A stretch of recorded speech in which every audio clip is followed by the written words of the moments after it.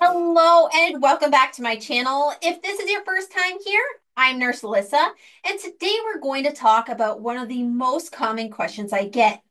Which dressing is right for your wound? Whether you're caring for your own wound or helping out a loved one, or you're a nursing student trying to make sense of all the different types of dressings, this video is for you. I'll walk you through exactly what dressings to use based on how much exudate your wound has, from totally dry all the way up to a four plus heavy drainage. When a wound is dry, our goal is to add moisture and protect the tissue. So here are some great dressing choices for a dry wound. We'll start with a hydrogel. So they donate moisture and soften tissue. Next, we have film dressings, which are great for covering and holding in moisture. Acrylic dressings maintain a moist environment while being gentle. And a non-adherent contact layer is ideal for fragile or sensitive wound beds. Now, you do want to avoid absorbent dressings as they are going to dry out your wound even more. Now, if your wound is producing just a little bit of drainage, so a one plus, you want to maintain moisture without over absorbing. Now, as we go on here, you will see that some of the dressings do overlap between levels. The first one up is acrylic dressing. So this is good for light drainage and protection. Hydrocolloids promote moist healing with gentle autolytic debridement. So this is great when you have a wound that has that sloughy material over the wound bed. Um, it almost looks yellow. Hydrophilic dressings absorb light fluid and keep the environment balanced. Moving on to two plus drainage. So when the exudate starts to increase, we need dressings that can absorb more while still protecting the wound. Your best options include hydrocolloids for moderate fluid and shallow wounds. Hydrophilic dressings are a good choice when you want some absorption without sticking. Gauze is an affordable option that will absorb moderate amounts of exudate. Foam dressings are soft, non-adherent, and provide good absorption. Next, we're going to talk about three plus drainage. Now, we're talking about wounds with significant drainage, they're wet dressings, leakage, and you need frequent dressing changes. So here are the top options for these types of wounds. So we have high absorbent pads. So they are designed for soaking up large amounts of exudate. Hydrofibers or gelling fibers, they turn into a gel and lock in moisture. Foam dressings are still a great option here, especially when you layer it with other dressings and you use it as a cover dressing. We have alginates. They're derived from seaweed and they're excellent for absorbing and shaping into the wound. And lastly, we have hypertonic dressings, which help draw out excess fluid and bacteria. These are normally used as a packing inside of a wound. Now, if your wound is consistently soaking through the dressings, you're going to need a dressing with maximum absorption. So we're going to use a super absorbent pad, and this is ideal for chronic or large wounds with a lot of drainage. Now, this can be used with a hydrofiber or gelling fiber, um, eh, which is normally packed into the wound. Even alginates work great.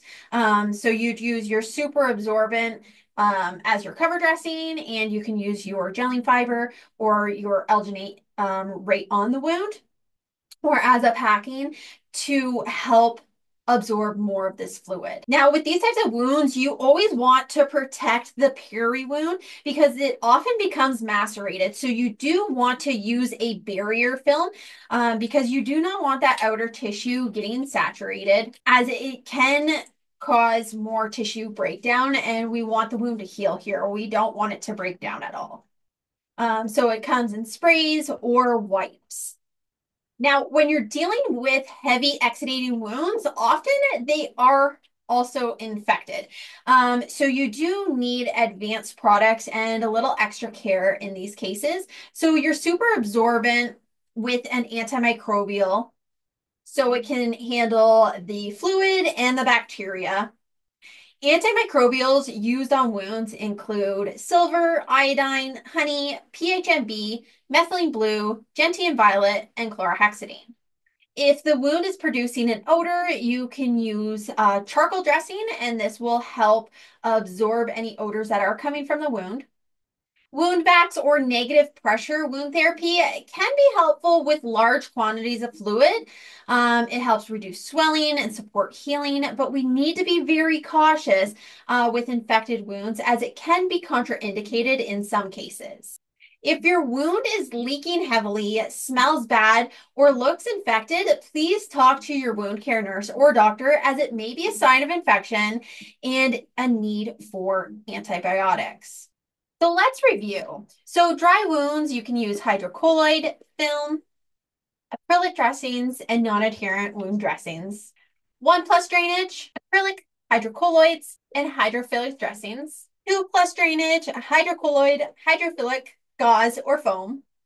Three plus drainage, high absorbent pads, hydrofiber, gelling fiber, foams, alginate, or hypertonic dressing. Four plus drainage, is your super absorbents, hydrofiber, gelling fiber, alginates, and hypertonic dressings. Four plus with infection, you want to add your antimicrobials, charcoal foam for odor, and possibly a wound vac, but that's done with extreme caution under the supervision of a wound care specialist or doctor. The key is matching the right dressing with the amount of drainage or condition of the wound. I do have my wound assessment and dressing selection tool available on Amazon, and this will help you select the appropriate dressing under many different conditions. I'll put the link down in the description. If you did find this video helpful, give it a like and subscribe for more wound care tips. And let me know down in the comments what other wound care topics you'd like me to cover in the next videos. Bye for now. Don't forget to visit my website, thewoundconsultant.com, for all your wound care needs. Whether you're seeking professional wound care consultations, access to high quality supplements, holistic healing, digital resources, informative books, or high quality wound care supplies, we have everything to support you. Whether you're dealing with a wound or you're a healthcare professional, there's something for everyone. Visit today and take the next step in effective wound care.